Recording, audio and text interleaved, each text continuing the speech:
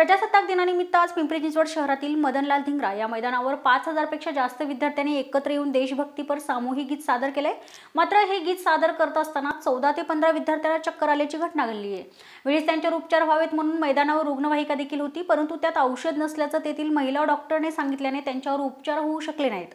चक्कर आलेल्या विद्यार्थ्यांना राजगिराचा लाडू खाण्यास देण्यात आला प्रत्यक्षात मात्र तेथे दुधाच्या बाटल्या देखील उपलब्ध होत्या.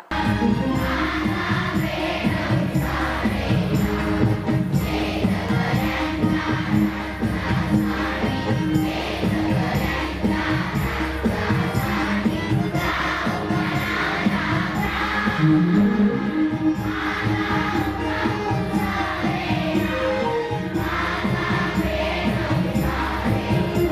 कार्यक्रम पिंपरी चिंचवड महानगरपालिका क्रीडा विभाग प्राथमिक शिक्षण आणि माध्यमिक शिक्षण विभाग यांच्या संयुक्त विद्यमाने आयोजित करण्यात आला होता. या कार्यक्रमात माध्यमिक आणि मनपाच्या प्राथमिक अशा एकूण एकशे पाच शाळा सहभागी झाल्या होत्या. शाळेतील पाच हजारपेक्षा जास्त विद्यार्थ्यांनी एकत्र येऊन देशभक्तीपर गीत सादर केले. यात देशभक्तीपर गीत सादर झाल्यानंतर अनेक विद्यार्थ्यांना चक्कर आली होती. संबंधित चौदा ते पंधरा विद्यार्थ्यांना स्टेजच्या बाजूला बसवण्यात आलं. त्यांना राजगिऱ्याचा लाडू खाण्यासाठी देण्यात आला. मात्र रुग्णवाहिका असताना देखील त्यात औषधे नसल्याने उपचार होऊ शकले नाहीत. आम्ही साडेसहा वाजता शाळेत आणि आठ वाजता इकडे आली मी काय खाऊन आली म्हणून मला चक्कर इकडे डॉक्टर सुविधा आहे. बोल. मी साडेसहाला आलती करेक्ट. इथं इथं आठला आलं तर आम्ही मी सकाळपासून काय खाल्लं सुद्धा नाही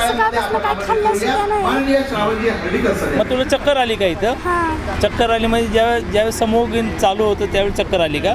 जेव्हा समोगीत सुरू होती त्या टायमाला मला पूर्ण पिवळं पिवळं दिसत. मग तू मग तू शिक्षकाला सांगितलं का? नाही मग? का- काय केलं मग तू? आता काय तुला दिलं खायला पिला त्यांनी.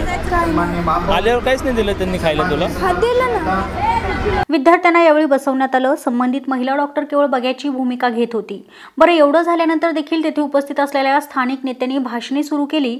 यावेळी कार्यक्रमासाठी महापौर राहुल जाधव आयुक्त श्रावण हर्डीकर सत्तारूढ नेते एकनाथ पवार आमदार महेश लांडगे आदी मान्यवर यावेळी उपस्थित होते. प्रतिनिधी मोहन दुबे दिनमान न्यूज पिंपरी चिंचवड.